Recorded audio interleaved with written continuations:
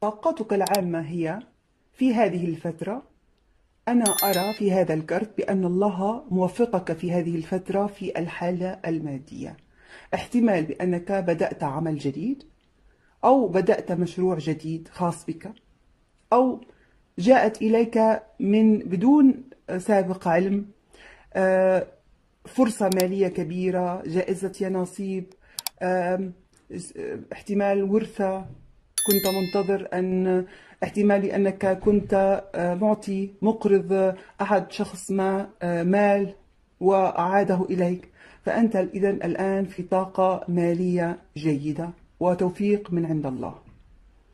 أنت أو أنك ترى بأن هذا الشخص مثل قطعة العملة هو ثمين أو غالي عندك كثيرا. احتمال. لنرى. أنت ترى بأن هذا الحبيب متباعد عنك وهو فقط متواصل معك بالروح. أنت تراه في غاية الجمال أيضا وفي غاية أنت تراه احتمال أنك تراه متدين إنسان متدين إنسان خلوق إنسان حكيم. لا يتكلم كثيرا هادئ متواصل بالروح معك. هذا الشخص قد حصلت خلافات في حياته. ربما كانت هذه الخلافات أو هذه المشاكل معك. ربما كانت في عائلته. أو ربما كانت مع أحد الأشخاص. ربما آه، آه، صار بينكما خلافات ومشاكل. وهذا الشخص الآن يشعر بالخسارة. خسارة خسارة خسارتك آه، له وخسارته لك. هو يشعر بأنه هذه العلاقة قد تحطمت وكلاكما قد خسر خسر هذه العلاقة. ليس هو وحيد لوحده. هو يحبك حب عقلاني. هو يحبك حب ناضج. هذا الشخص هو شخص واعي جدا ويحبك من كل قلبه وعقله أيضا. ويحبك بدون مقابل هذا الشخص. لا يريد أن آه، يأخذ منك أي شيء. هذه هو آه، احتمال بأنكما أنت وهذا الشخص متزوجين. احتمال بأنكما متزوجين أو احتمال بأنكما في علاقة طويلة وهذا الشخص احتمال بأنه يكون أم آه، لأبنائك أو زوجة أو زوج أو آه، أو حبيبة منذ زمن أو حبيب. هذا الشخص يراك العالم كله وهو مكسور قلبه جدا. احتمال بأنكما كنتما نأخذ هذه.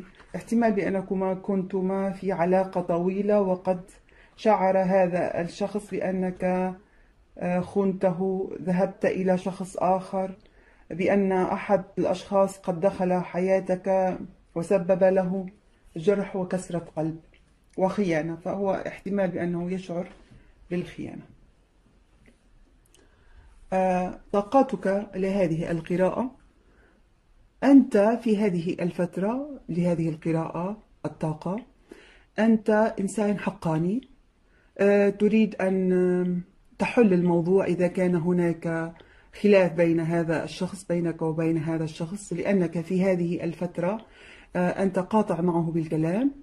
لا تكلمه أبدا ولكنك تريد أن تكون معه بشكل آه، تتكلم معه بشكل عقلي من العقل إلى العقل. وتحاول أن تحل المشكلة بينكما تحاول أن تعرض هذه المشكلة المشكلة وتقول ما لك وما عليك فأنت إنسان كما قلت حقاني.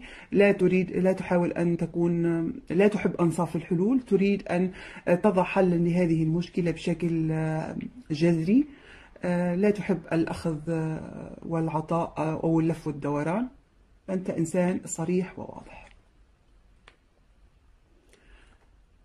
طاقة الحبيب هو في غيظ وغضب احتمال بأنه يكون قد هذا الشخص بأنه غضبان منك احتمال كبير أو بأنه هناك في تواصل روحي بينكما. كما قلت هذه البطاقة آه، تدل على أنه احتمال بأنه آه، غيظ وغضب ومتباعد عنك في هذه الفترة أو احتمال بأنه يريد أن يحاول أن يعيد شعلة العلاقة بينكما ويحاول أن يصلح الأمر أيضا من جديد. احتمال كبير أنه يكون غضبان هذا الشخص. لكنه هذا الشخص يريد بداية جديدة معك.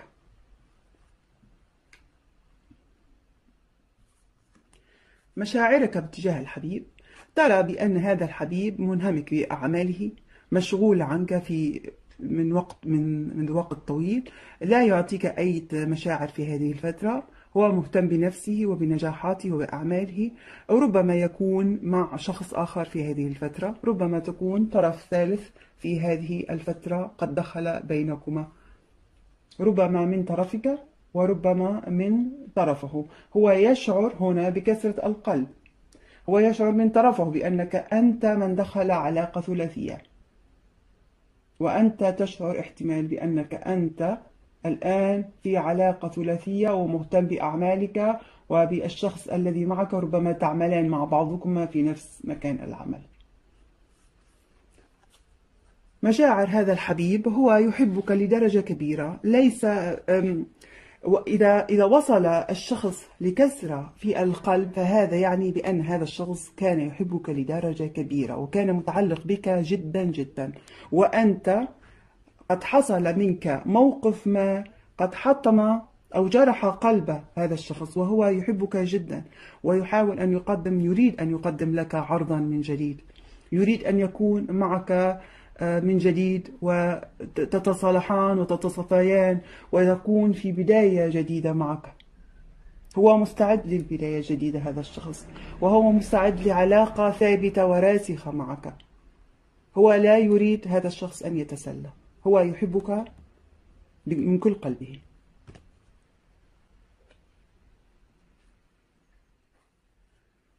هو يراك بأنك إنسان حنون ولطيف ومتسامح وأنت الإنسان الذي يحب أن يكون معه. أنت إنسان ناضج آه، ماديتك جيدة والحمد لله. أنت من يشعر معه بالاستقرار بالحب بالحنان بالعطف بالمناسبة. هذه البطاقات برج العذراء برج آه، الدلو. برج الحوت.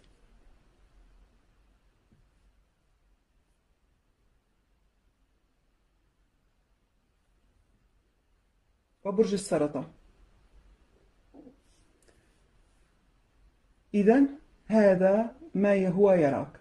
هو يراك بأنك كنت حنون عليه وربما كنت تساعده لهذا الشخص ماديا ربما تشعر بقيمته في حياتك. تراه بأنه في حياتك مثل مثل الذهب وأنت تريد أن تكون معه أنت تعرف قيمة هذا الشخص جيدا وأنت تراه جدا آه، مناسب الشخص المناسب بالنسبة لك. أنت تحب أن تكون معه في علاقة ثابتة وراسخة في زواج لا تريد أن تتسلى مع هذا الشخص. هو يشعر معك هكذا. هو يشعر بأنه يريد أن يكون معك في علاقة ثابتة وراسخة ولا يريد أن يتسلى.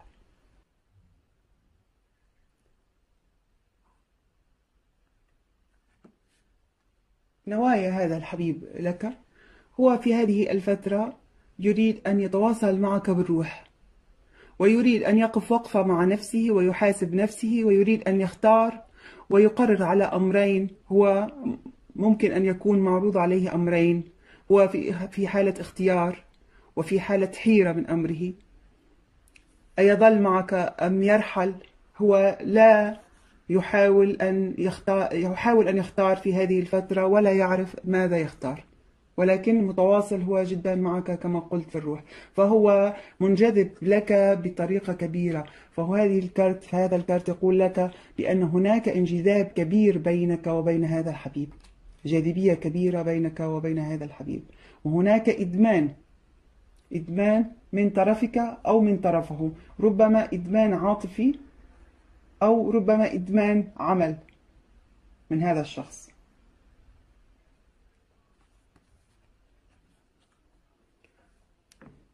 خطوته القادمة في هذه الفترة هو يريد أن لا يعبر لك عن مشاعره. هو يريد أن يبقى هكذا. يحاول إذا كنتما في مكان عمل هو يريد أن يتكلم معك بضمن مجال العمل. لا يريد أن يخرج عن يخرج إلى العواطف يريد أن يكون معك عقلاني وعملي ولا يريد أن يعبر لك عن مشاعره أبدا أبدا في هذه الفترة. هو الآن يحاول أن يكون مبتعد لأنه كما قلت هو يحاول أن يكون في وقفة مع النفس لأخذ الاختيار. ربما هو هو ربما يكون في علاقة ثانية في علاقة زواج أو في علاقة ثانية. ويظهر لي هنا بأنه في علاقة زواج ربما كان هذا الشخص متزوج وهو يريد أن يكون أن يأخذ اختيار الصحيح. لا يريد أن يتسرع هذا الشخص. نتيجة هذه القراءة هذه القراءة ستظل هكذا في هذه الفترة.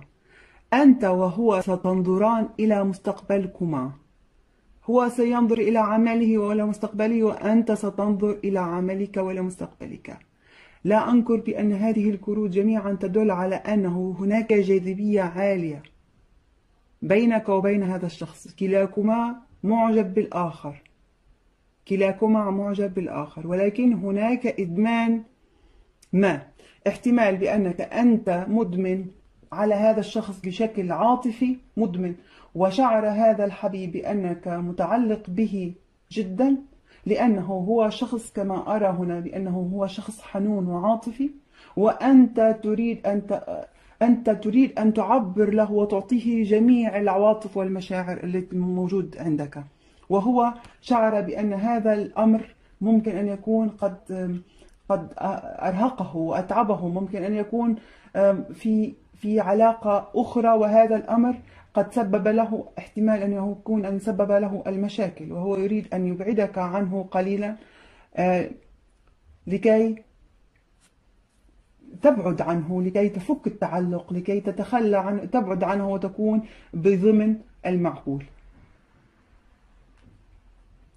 آه، فإذا كنت هذه البطاقة تقول فإذا كنت آه، قد أخطأت بحق هذا الشخص فحاول أن تصلح ما أخطأت معه به.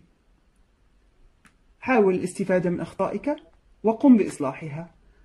وإذا كان هناك أسرار بداخلك حاول أن تخفيها حاول أن تكون غامض مثل هذا الكرت. حاول أن تكون غامض ولا تبوح بها لأحد لأن هناك آه، من يريد بك السوء. فانتبه في هذه الفترة. نصيحتك لهذه القراءة تقول حاول أن تكون أن تبدأ بداية جديدة أن تعيش حياتك أن تمرح تفرح آه، تخرج مع أصدقائك. آه، الحياة ليست متوقفة على شخص واحد. وإن كان هناك جاذبية وإن كان هناك حب لا تتعلق لا تتعلق بأحد. وعيش حياتك. وإذا كنت كنت تحب شخص فأعطي لنفسك الفرصة من جديد وأعطي آه، لهذا الشخص بداية جديدة فهو يستحق هذه البداية. لعل هذا الشخص يكون هو الإنسان الذي ستكمل معه حياتك. شكرا لكم مواليد القوس على هذه المشاهدة وأرجو أن أراكم في فيديو قادم.